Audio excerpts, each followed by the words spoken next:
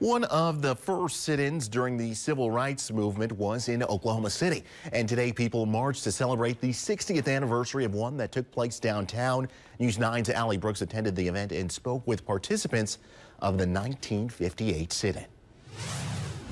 The Oklahoma City sit-in movement started when 13 kids protested segregation at Katz Drug Store in downtown OKC. August 19, 1958, the day a peaceful protest would spark a movement in our state.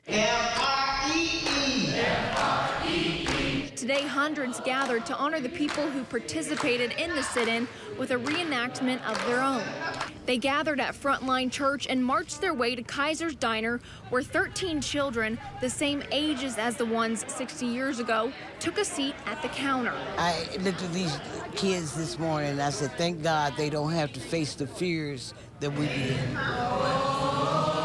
The children in 1958 were led by Clara Luper, a teacher turned activist who wanted to see equality for all.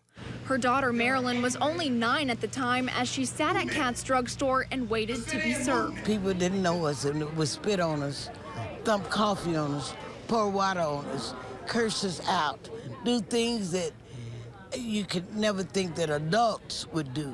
They sat until they saw change, and two days later, Katz ended their segregation policy. The group went to other stores demanding change no matter the consequences.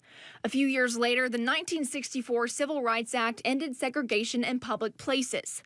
Luper passed away in 2011, but events like this help her legacy continue.